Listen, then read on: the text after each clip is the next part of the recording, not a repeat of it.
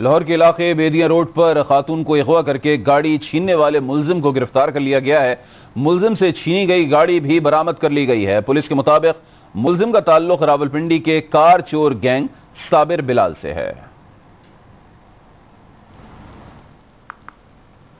Bulletin में दीगर खबरें शामिल करेंगे। यहाँ वक्त हुआ एक ब्रेक का। आज के साथ रखिए